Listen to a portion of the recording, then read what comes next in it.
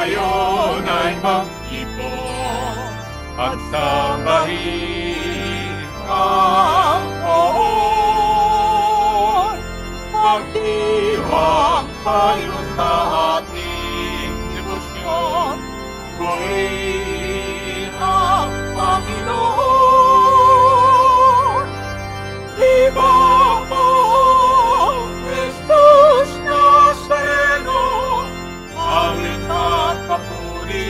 alay namin sa'yo. Tingin ka na langit at pagsamo ng bayan mo. Iba mo, Jesus Nazareno.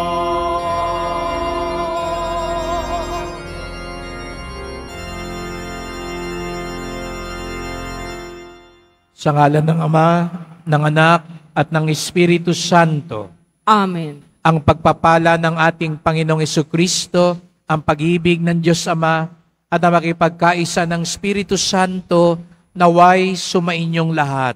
At sumairi. Mga kapatid, tinipon tayo bilang isang angka ng Diyos upang sama-sama tayong mag-alay at magpasalamat sa ating Ama sa Langit sa pamamagitan ng ating mahal na pong Jesus Nazareno.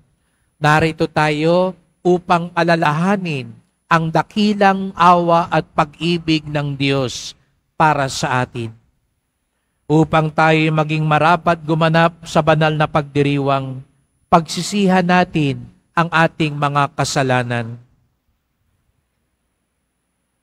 Inaamin ko sa makapangyarihang Diyos at sa inyo mga kapatid, nga lubha akong nagkasala sa isip, sa salita at sa gawa, at sa aking pagkukulang. Kaya isinasamo ko sa mahal na Birhing Maria, sa lahat ng mga anghel at mga banal, at sa inyo mga kapatid, na ako'y panalangin sa Panginoong ating Diyos. Kawan tayo ng makapangyarihan Diyos, patawarin tayo sa ating mga kasalanan, at patnubayan tayo sa buhay na walang hanggan. Amen. Panginoon, kawan mo kami. Panginoon, kaawaan mo kami. Kristo, kawan mo kami. Kristo, kaawaan mo kami. Panginoon, kawan mo kami. Panginoon, kaawaan mo kami. Manalangin tayo.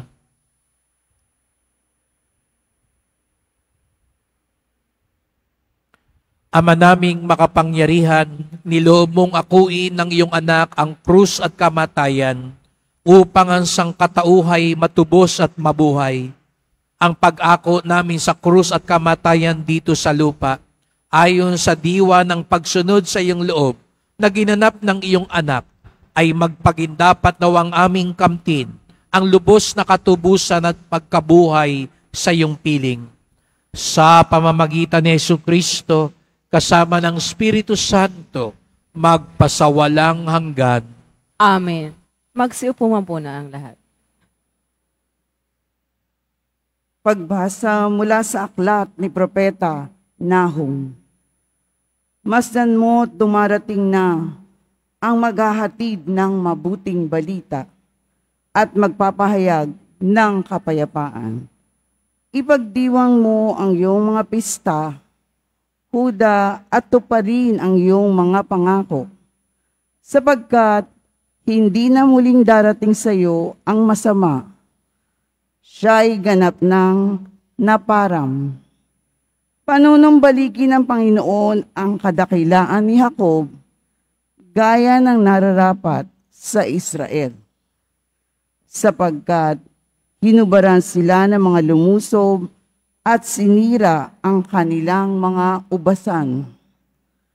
Kawawa ka, lunsod na mamamatay tao, bayang sinungaling at mga ngamkam, walang katapat sa sama. Lumalagapak ang mga latigo, rumaragasa ang mga gulong, nagdadambahan ang mga kabayo, humahaginit ang mga karawahe, sumusugod ang mga mga ngabayo. Kumikinang ang kanilang tabak, kumikislap ang dulo ng sibat, di mabilang ang patay. Naghambalang ang mga bangkay, natitisod ng nadaraanan, tatabunan kita ng dumi, gagawing hamak at iismiran. Lalayo ang kanang lahat ng makakita sa iyo. Sasabihin nila, Hayan ang Ninibe, sino ang tatangis sa kanya? At saan ako hahanap ng aaliw sa kanya? Ang salita ng Diyos. Salamat sa Diyos.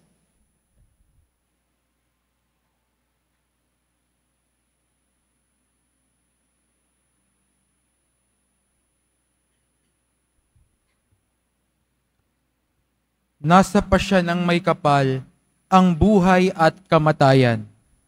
Nasa pasya ng may kapal ang buhay at kamatayan. Darating ang araw ng aking paniningil at paghihiganti hanggang sa sila'y humupay at mabuwal pagkat ang wakas nila ay malapit na. Ililigtas ng poon ang kanyang bayan. Siya'y mahahabag sa mga naglilingkod sa kanya. Nasa pasya ng may kapal ang buhay at kamatayan. Malalaman ngayong ako ay ako nga at maliban sa akin, wala ng Diyos. Ako'y pumapatay at maaaring bumuhay. Napapagaling ko ang aking sinusugatan. Nasa pasya ng may kapal ang buhay at kamatayan. Ihahasa ko itong aking tabak at ang katarungay aking igagawad. Ang parusay ibabaksak ko sa mga kaaway at sisingilin ko ang sa akin na susuklam. Nasa pasya ng may kapal ang buhay at kamatayan. Magsitayo na po ang lahat.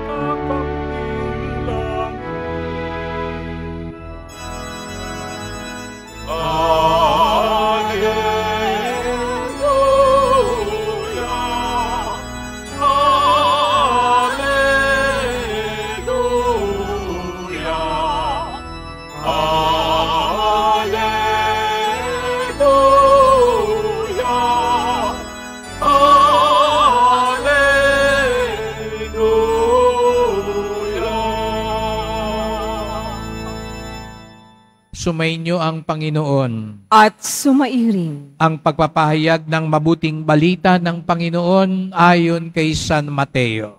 papuri sa iyo, Panginoon. Noong panahong iyon, sinabi ni Jesus sa kanyang mga alagad, Kung ibig nino mang sumunod sa akin, limutin niya ang ukol sa kanyang sarili, pasanin ang kanyang krus at sumunod sa akin. Ang naghahangad na magligtas ng kanyang buhay ay siyang mawawalan nito. Ngunit ang mag-aalay ng kanyang buhay alang-alang sa akin, ang siyang magkakamit noon. Anong mapapala ng isang tao? Makamtan man niya ang buong daigdig kung ang katumbas naman ito'y ang kanyang buhay. Ano ang maibabayad ng tao para mabalik sa kanyang kanyang buhay? Sapagkat darating anang ng tao na taglayang dakilang kapangyarihan ng kanyang ama at kasamang kanyang mga anghel. Sa panahong iyon, gagantihan niya ang bawat tao ayon sa kanyang ginawa. Sinasabi ko sa inyo, may ilan sa inyo dito na hindi mamamatay hanggat di nakikita ang anak ng tao na pumaparito bilang hari.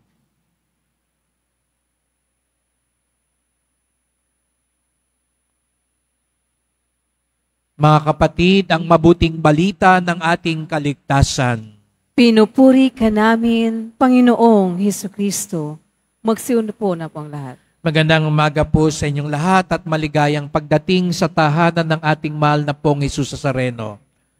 Pinagdarasal din natin ang mga nasa online, lalo na po mga may sakit, nag-aalaga sa may sakit, at mga kababayan kadeboto natin mula sa iba't ibang panig ng bansa at daigdig na nais sumama sa misa dito sa Quiapo, sa Basilica Minor at pambansang dambana ni Jesus Nazareno.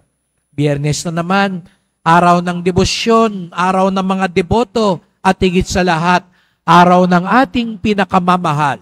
Kaya't bigyan natin ng papuri, parangal at pasasalamat ang ating minamahal na Nuestro Padre Jesus Nazareno. Kamakailan po'y ako'y napakiusapang magdiwang ng misa sa isang kaibigan, isang pamilyang kaibigan, at kanilang ipinagdiwang ang ika 91st birthday ng kanilang nanay. Kaya nga sabi ko po ay malugod kong tinanggap ang paanyaya. 91 years old, may pitong anak, labing limang apo, at labing limang apo sa tuhod.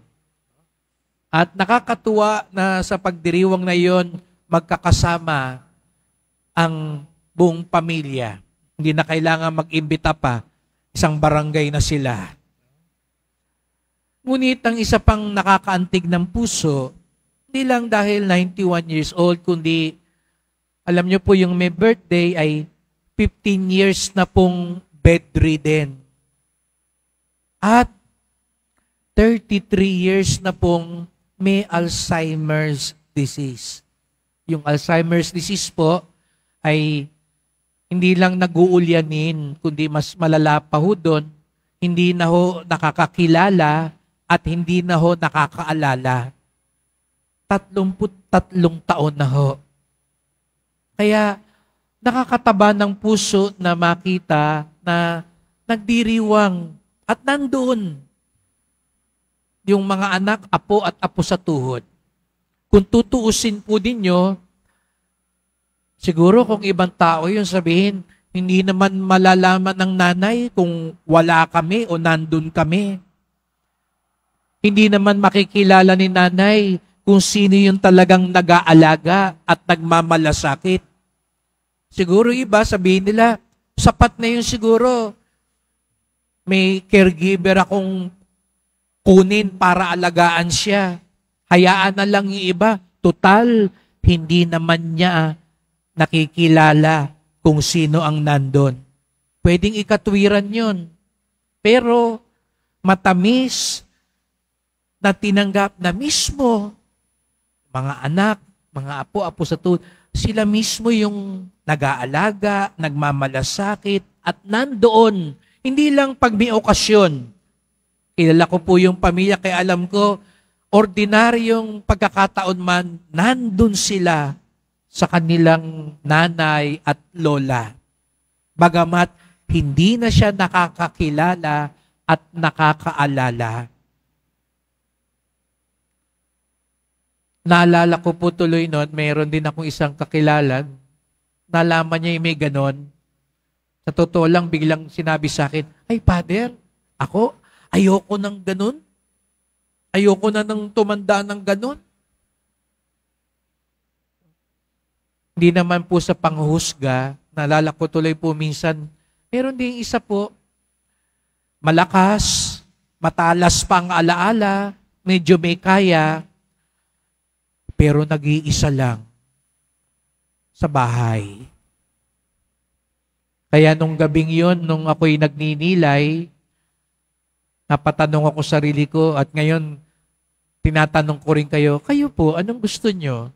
Gusto nyo ba yung, siguro nga, wala ka nang naalala, wala ka nang nakikilala, pero pinapalibutan ka ng maraming tao, lalo na ng pamilya mo, na nagmamalasakit, naglilingkod, nagmamahal sa'yo. O siguro nga, matalas pa ang alaala mo, malakas nga ang katawan mo, meron ka nga, pero mag-isa ka naman.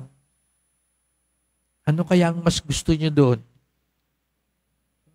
At nung pinagninilayan ko, bakit ganon?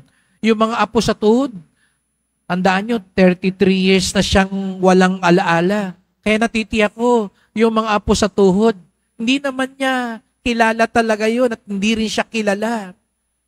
Pero bakit kahit sila nandoon, nung lalo ko pong pinapaglalim yung, yung tagpong iyon, yung karanasang iyon, sabi ko, ah, itong sinanay, nung kalakasan niya at Yako, minahal niya at pinaglingkuran niyang maigi yung kanyang anak at yung ilang ibang apo. Kaya nga, nung dumating ang araw na siya na'y wala nang naalala, siya naman ngayon ang inaalala nung mga inalala niya sa buhay. At kahit yung mga hindi niya na inalala, yung mga apo sa tuhod, natitiyak ko, ikinuwento ng mga anak at iba pang apo kung gaano naging mapagmahal, mapagmalasakit at mapaglingkod ang kanilang lola. Kaya maging sila ngayon, inaalala ang kanilang mahal sa buhay. Kaya sabi ko, siguro nung kalakasan ni Lola, halos kalimutan niya ang kanyang sarili sa kanyang pagmamalasakit at paglilingkod sa kanyang minamahal. Napansin niyo po yung parang kabalintunaan? Nung kinalimutan mo ang sarili mo, dun ka mas naaalala. Ulitin ko po, sa mga pagkakataong kinakalimutan mo ang iyong sarili, doon ka mas lalong maaalala. At pansinin niyo po yung kabaligtad. Yung panahon naman na laging sarili mo ang inaalala mo, doon ka magiging kalimot-limot.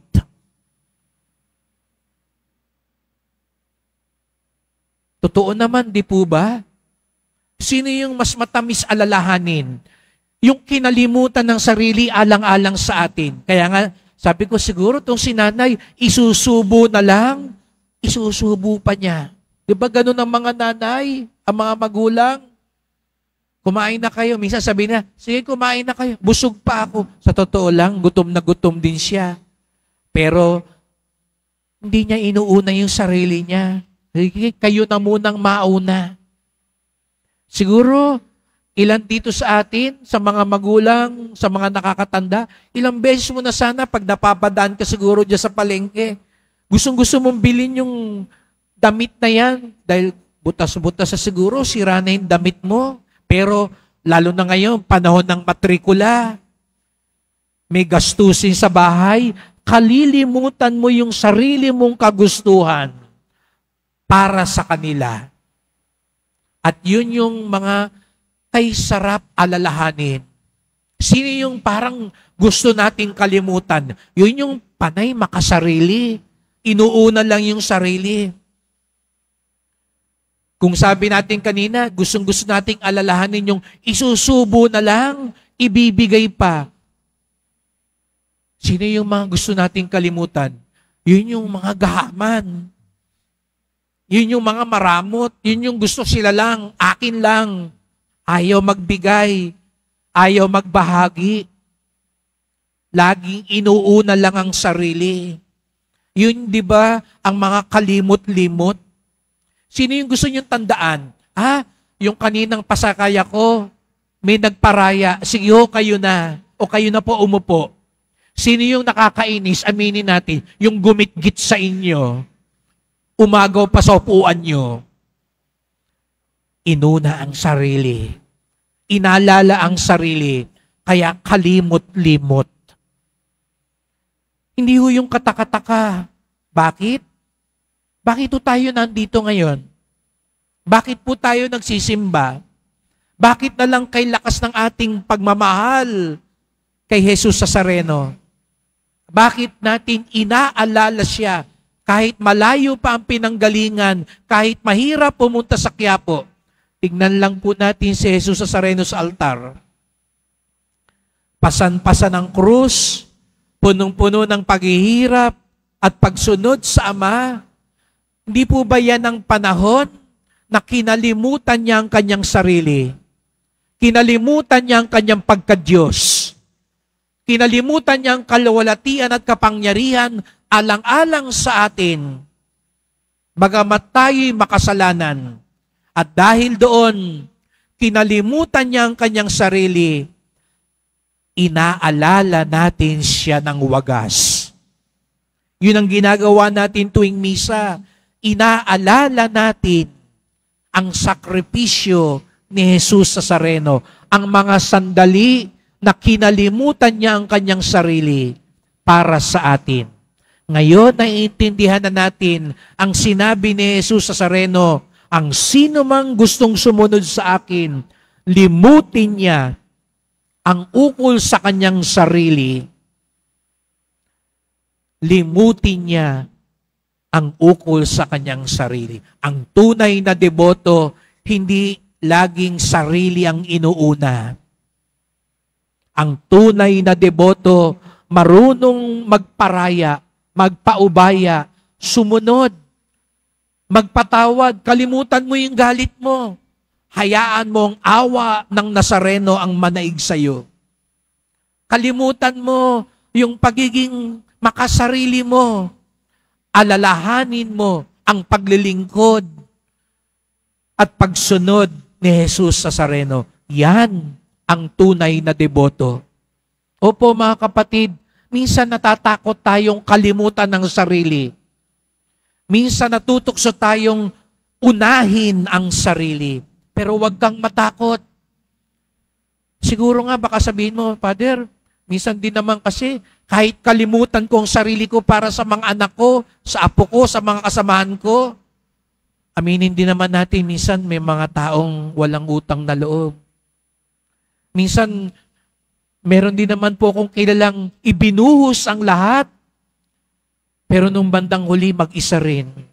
Iniwan din ng kanilang mga anak at apo Bagamat nung kalakasan nila, ibinigay nila ang lahat. Kaya minsan naalala ko yung sabi ng isang pare, yung isang ina, bagamat napakahirap, kinayang magpalaki ng walong anak. Pero ano yung nakakasakit? Walong anak. Hirap na hirap mag-alaga ng isang ina. Nagpapasahan pa. Nagtuturuan pa nagkakalimutan pa. Kaya tuloy iba sa atin, natatakot kalimutan ng sarili. Natatakot magbigay, maglingkod at magmalasakit. Dahil baka hindi naman suklian yung ating pag-alala. Hindi lahat kasing palad nung kinuwento ko kanina. Pero wag pa rin tayong matakot. Kalimutan man tayo ng mundo. Kalimutan man ng mga inalala natin ang lahat ng ginawa sa atin, natin, mayroon pong hindi makakalimot ang puong Jesus Nazareno. Kaya nga sabi niya, sa panahon ng aking pagbalik, gagantihan niya ang bawat tao ayon sa kanyang ginawa. Sa makatuwid, maaalala, alam ni Jesus Nazareno ang mga pagkakataong kinalimutan natin ang ating sarili. Pinasa ng krus at sumunod sa Kanya. Kaya, wag kayo matakot. Hindi ho kayo malulugi. Hindi ho kayo mag-iisa. Siguro nga yung mga nandito sa mundo, nakakalimot, nangiiwan, pero hindi ang Diyos. Kaya patuloy natin sundan siya sa mga pagkakataong kailangan kalimutan ng sarili, magpaubaya at maglingkod sapagkat higit sa lahat, mayroong hindi nakakalimot sa atin. Kaya't sa misang ito, magdasal po tayo. Mahal na pong Jesus sa Sareno, narito na naman po kami, iyong mga alagad at mga deboto, sapagkat lagi ka naming inaalala. Lagi kaming nagpapasalamat sapagkat dakila ang iyong awa at pag-ibig. Kinalimutan mo ang iyong sarili alang-alang sa amin. Kinalimutan mo ang iyong pagkadyos, ang iyong kapangyarihan at kaluwalatian. Pinasan mo ang krus at dumanas ka ng sakit para sa aming kaligtasan. Kaya nga't nandito po kami, tumatanaw ng utang na loob at inaalala po kayo. Tulungan at turuan nyo din po kaming kalimutan ng aming sarili para sa aming kapwa at higit sa lahat para sa iyong kalooban sapagkat higit sa lahat ang pinakamahalaga ay ang maalala mo sa iyong kaharian. Mahal na pong Jesus Nazareno, kawaan niyo po kami, basbasan niyo po kami. Amen. Amen. Magsitayo na po ang lahat.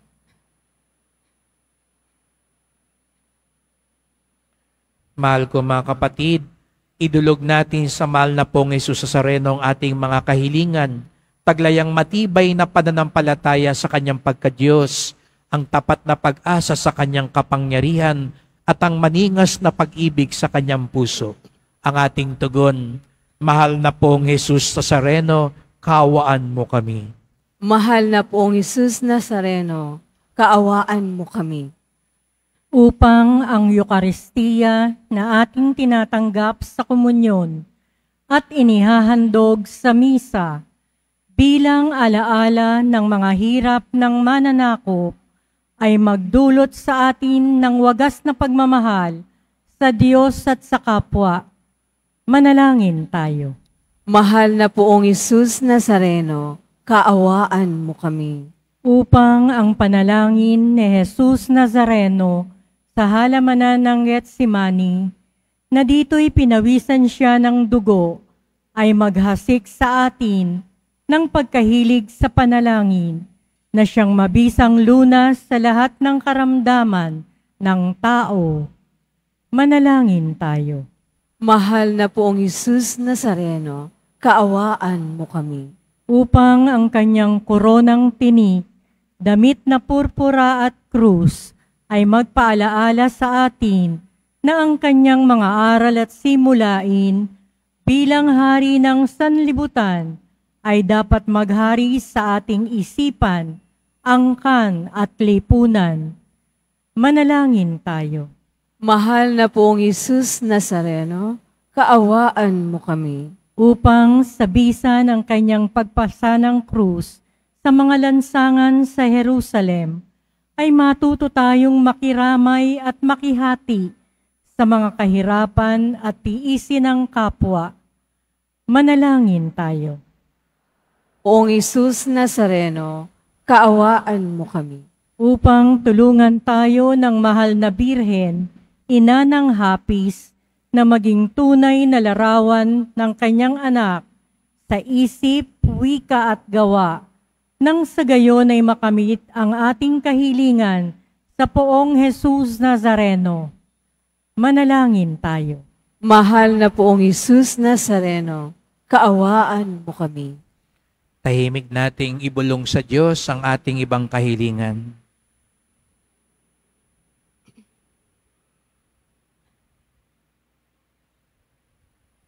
Ama naming mapagmahal, nahayag sa salita, gawa, buhay at kamatayan ng iyong anak na ang Diyos ay pag-ibig. Maipahayag dinawa namin ang katotohanan ng ito sa pamamagitan ni Jesus sa Sareno, Panginoon namin magpasawalang hanggan. Amen. Magsiupo po ang lahat. Jesus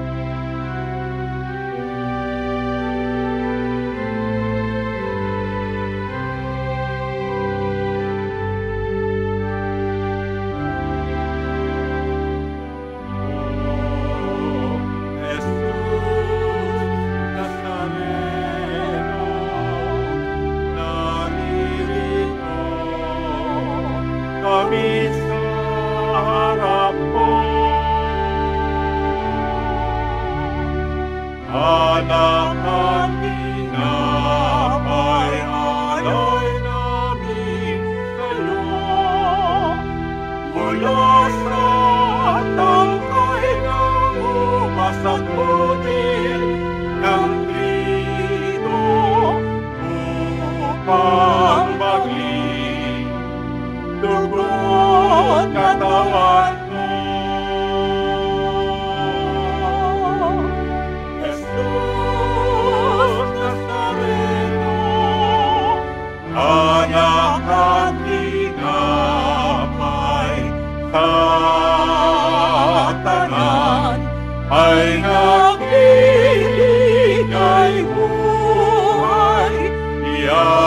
Ang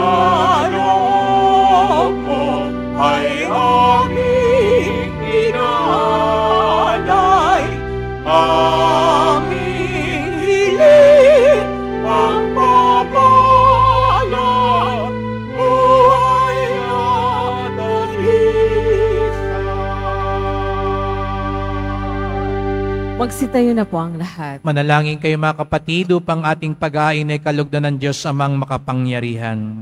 Tanggapin nawa ng Panginoon itong paghahain sa iyong mga kamay, sa kapurihan niya at karangalan sa ating kapakinabangan at sa buong sambayanan niyang banal. Ama naming lumikha sa kapagpapatawan ng mga kasalanan, maganap nawa ang paghahaing ito na sa dambana ng krus ay siyang pumawi sa kasalanan ng buong mundo sa pamamagitan ni Yesu Kristo kasama ng Espiritu Santo magpasawalang hanggan.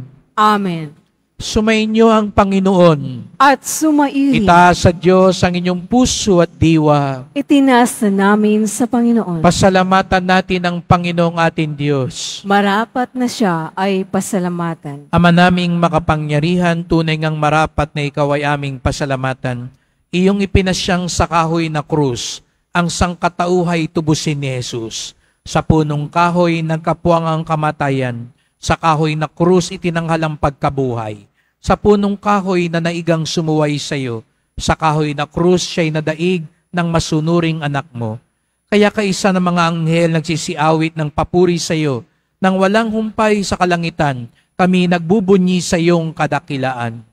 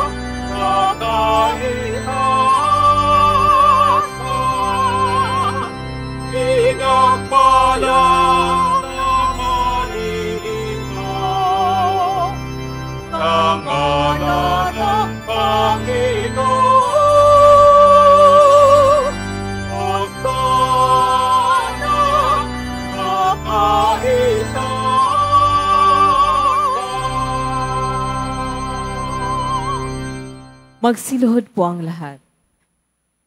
Tuwing misa, inaalala natin ang awa at pag-ibig ni Jesus Nazareno.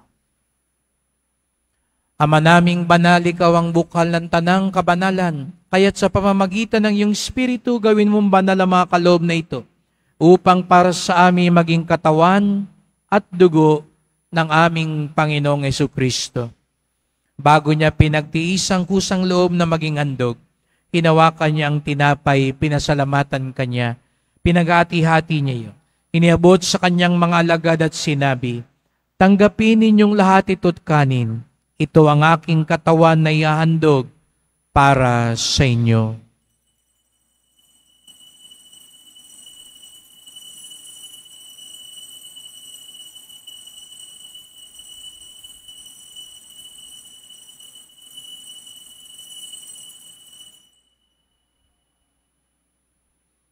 Gayon din naman ang matapos ang hapunan, hinawakan niya ang kalis. Muli kanyang pinasalamatan. Iniabot niya ang kalis sa kanyang mga alagad at sinabi, Tanggapin ninyong lahat ito't inumin. Ito ang kalis ng aking dugo, ng bagot walang hanggang tipan. Ang aking dugo na ibubuhos para sa inyo at para sa lahat sa kapagpapatawad ng mga kasalanan. Gawin niyo ito sa pag-alala sa akin.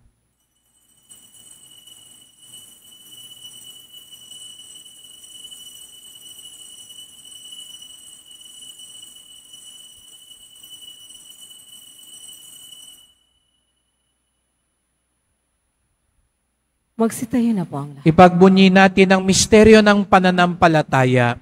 Si Kristo'y namatay, si Kristo'y nabuhay, si Kristo'y babalik sa wakas ng panahon. Ama, ginagawa namin ngayon ang pag-alala sa pagkamatay at muling pagkabuhay ng iyong anak. Kaya tinalay namin sa iyo ang tinapay nagbibigay buhay at ang kalis na nagkakalob ng kaligtasan. Kami nagpapasalamat dahil kami yung minarapat na tumayo sa harap mo para maglingkod sa iyo. Isinasamo namin kaming magsalo-salo sa katawan at dugo ni Kristo'y mabuklod sa pagkakaisa sa pamamagitan ng Espiritu Santo. Ama, lingapin mo ang iyong simbahang laganap sa buong daigdig. Puspusin mo kami sa pag-ibig kaysa ni Francisco naming Papa, ni Jose naming Obispo, at ng Tanang Kaparian. Alalahanin mo rin ang mga kapatid naming nahimlay na may pag-asang sila'y muling mabubuhay, gayon din ang lahat ng mga pumanaw. Kawan mo sila't patuloyin sa iyong kaliwanagan. Kawan mo't pagindapating kaming lahat na makasalo sa iyong buhay na walang wakas, kaisa ng mahal na Birheng Maria Ina ng Diyos, ng kabiyak niyang pusong si San Jose, ng mga apostol, ni San Juan Bautista at lahat ng mga banal na namuhay dito sa daigdig ng kalugod-dugod sa iyo. May pagdiwang nawa namin ng pagpupuri sa ikararangal mo sa pamamagitan ng iyong anak naming Panginoong Yesu Kristo. Sa pamamagitan ni Kristo, kasama niya sa Kanya, ang lahat ng parangal at papuri ay sa iyo, Diyos amang makapangyarihan, kasama ng Espiritu Santo, magpasawalang hanggan.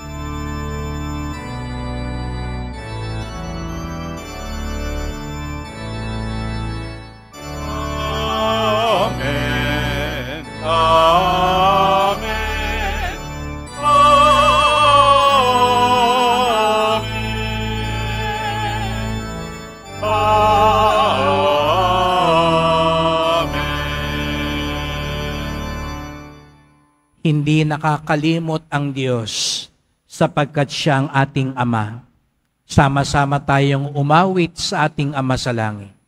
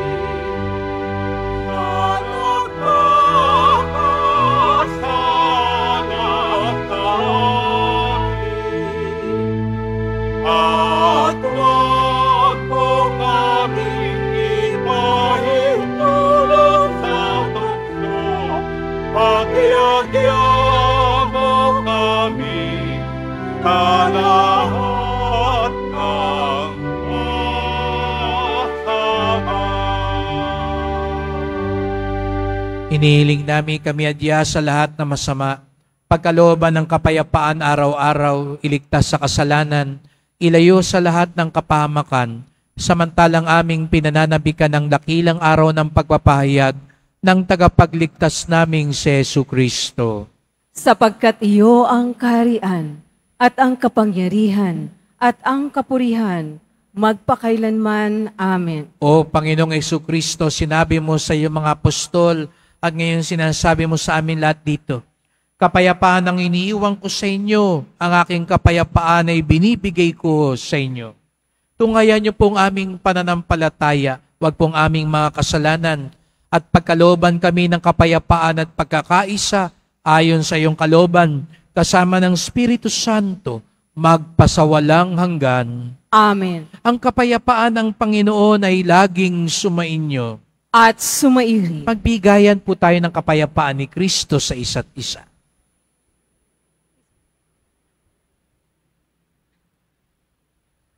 Kordero ng Diyos na nag-aalis ng mga kasalanan ng sanlibutan, maawa ka sa amin. Kordero ng Diyos na nag-aalis ng mga kasalanan ng sanlibutan, maawa ka sa amin. Kordero ng Diyos na nag-aalis ng mga kasalanan ng sanlibutan, ipagkaloob mo sa amin ang kapayapaan. Magsiluhod po ang lahat.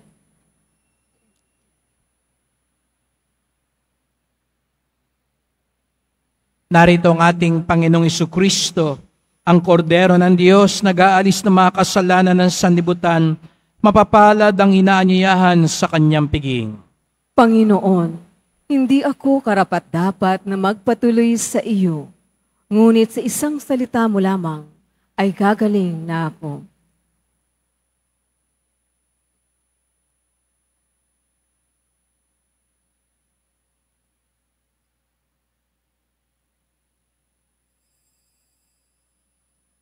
Para sa lahat ng tatanggap ng banal na komunyon, sasagot po tayo ng amin pagkasabi ng pareo ng liminister ng katawan ni Kristo at isubo agad sa bibig bago umalis sa harapan ng pareo ng liminister. Sumunod po tayo. Salamat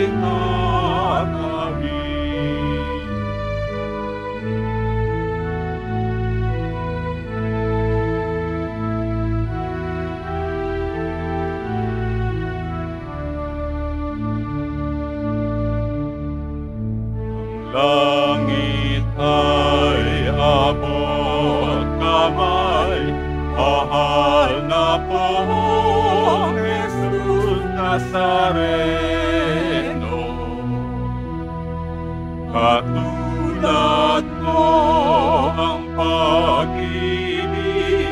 ang siyang daan sa buhay ko.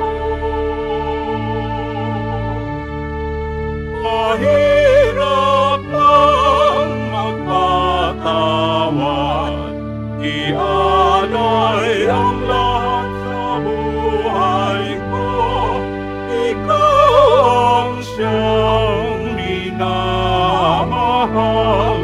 sa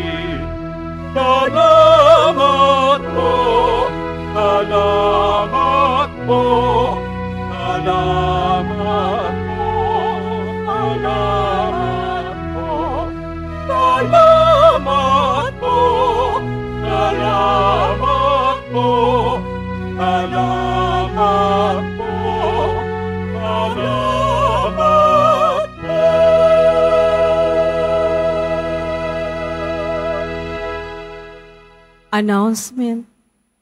Kasalukuyan po tayong nagdiriwang ng mga misa noberaryo sa karangalan ng Nuestra Señora de la Buena Hora tuwing alas 12.15 ng tanghali. Sa darating na ikalabing lima ng Agosto, sa ganap na alas 5 ng hapon, ay gaganapin ang solemni na misa sa pagdiriwang ng dakilang kapistahan ng pag-aakyat sa langit ng mahal na Biring Maria at sa karangalan ng Nuestra Señora de la Buena Hora. Ito po ay susundan ng presisyon sa komunidad ng Quiapo. Inanyanyahan po ang lahat na dumalo. Pagkatapos ng misa, wiwisikan po ang lahat ng banal na tubig. Pinakikiusapan ng lahat na manatili lamang muna sa iyong mga lugar.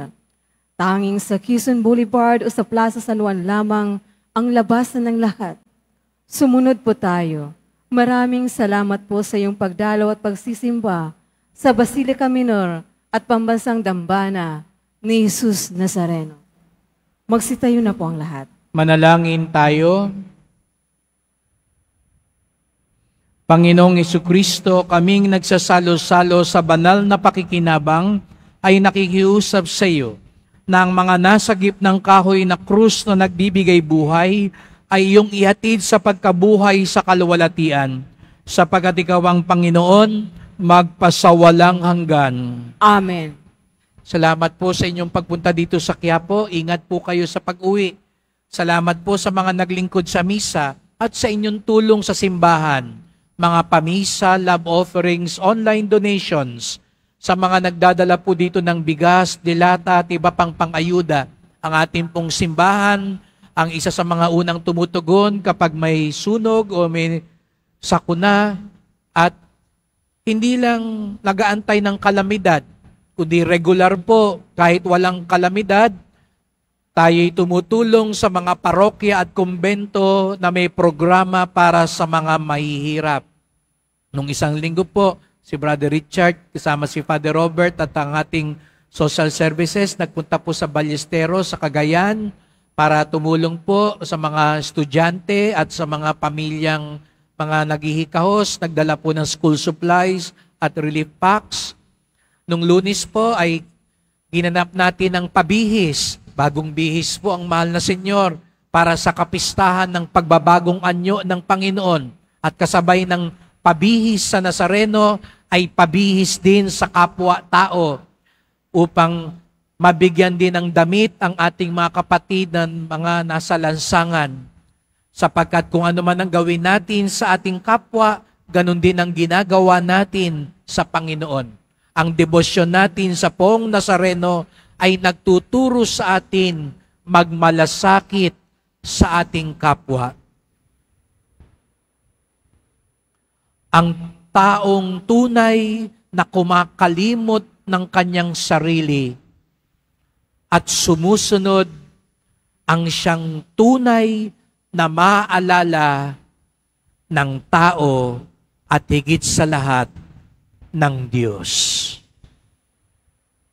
Sumayin niyo ang Panginoon. At sumairi. Mahal na pong Jesus sa Sareno, inihayag mo sa pamamagitan ng krus ang walang maliw na pag-ibig ng Diyos sa sangkatauhan. Pakinggan mo ang kahilingan ng iyong angkan na nagsusumamo sa iyo.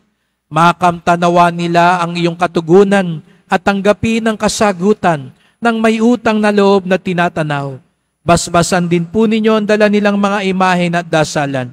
Sa pamamagitan ng bendisyon na ito, naway maalala nila mga pangako sa binyag na ikaw ang kanilang iibigin at paglilingkuran bilang Panginoon magpasawalang hanggan Amen. at pagpalaing kayong lahat ng makapangyarihang Diyos, Ama at Anak at Espiritu Santo.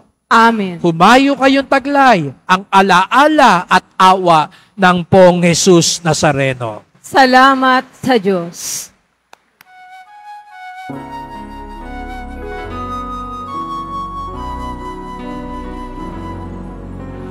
Padre Jesus Nazareno, sinasamba ka namin.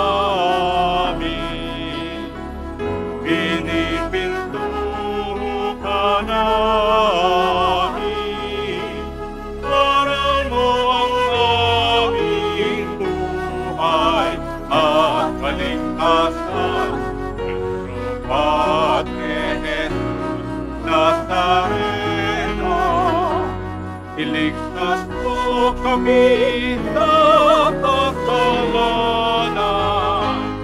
Ang krus